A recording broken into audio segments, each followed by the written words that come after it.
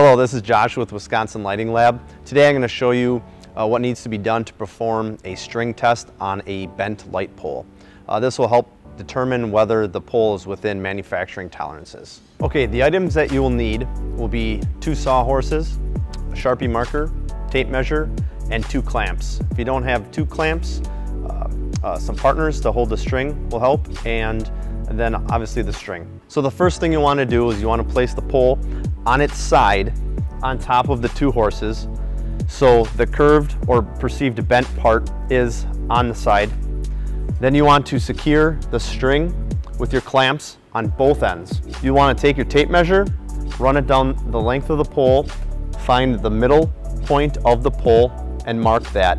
That's where you're going to be taking the measurement. Here at the midpoint of the pole uh, with my tape measure and I place that against the pole and, and read the measurement of where the string falls against the tape measure.